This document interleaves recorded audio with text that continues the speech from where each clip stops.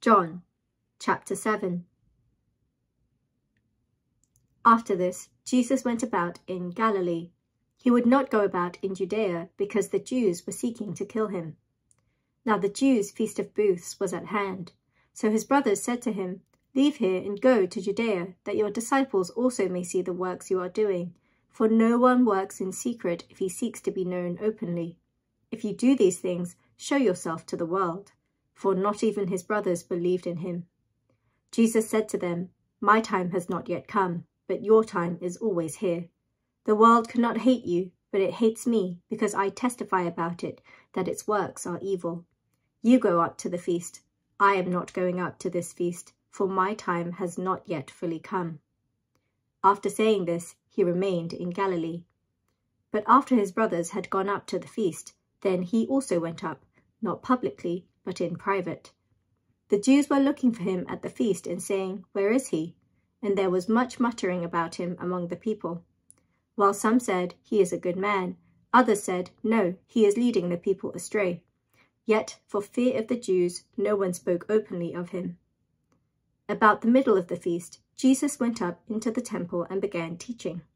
The Jews therefore marveled, saying, How is it that this man has learning when he has never studied? So Jesus answered them, My teaching is not mine, but his who sent me. If anyone's will is to do God's will, he will know whether the teaching is from God or whether I am speaking on my own authority. The one who speaks on his own authority seeks his own glory, but the one who seeks the glory of him who sent him is true, and in him there is no falsehood. Has not Moses given you the law? Yet none of you keeps the law. Why do you seek to kill me? The crowd answered, you have a demon. Who is seeking to kill you? Jesus answered them, I did one work, and you all marvel at it. Moses gave you circumcision, not that it is from Moses, but from the fathers, and you circumcise a man on the Sabbath.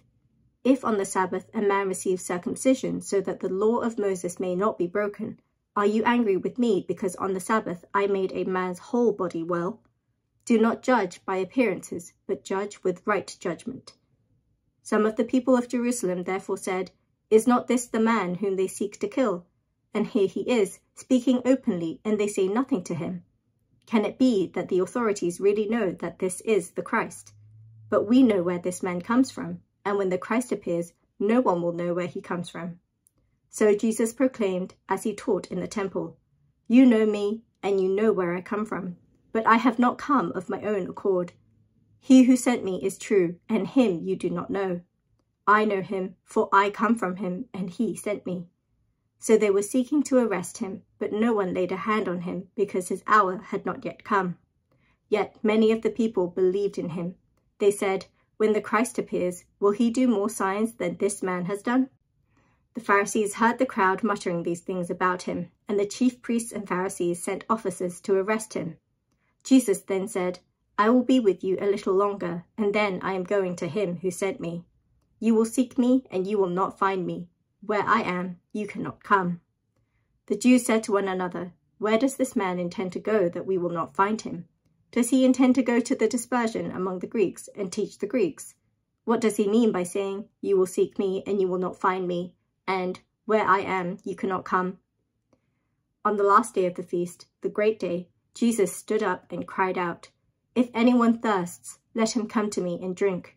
Whoever believes in me, as the scripture has said, out of his heart will flow rivers of living water. Now this he said about the Spirit, whom those who believed in him were to receive, for as yet the Spirit had not been given, because Jesus was not yet glorified. When they heard these words, some of the people said, This really is the prophet. Others said, This is the Christ. But some said, is the Christ to come from Galilee? Has not the scripture said that the Christ comes from the offspring of David and comes from Bethlehem, the village where David was? So there was a division among the people over him. Some of them wanted to arrest him, but no one laid hands on him. The officers then came to the chief priests and Pharisees, who said to them, Why did you not bring him? The officers answered, No one ever spoke like this man. The Pharisees answered them, Have you also been deceived? Have any of the authorities or the Pharisees believed in him? But this crowd that does not know the law is accursed. Nicodemus, who had gone to him before, and who was one of them, said to them, Does our Lord judge a man without first giving him a hearing and learning what he does? They replied, Are you from Galilee too? Search and see that no prophet arises from Galilee.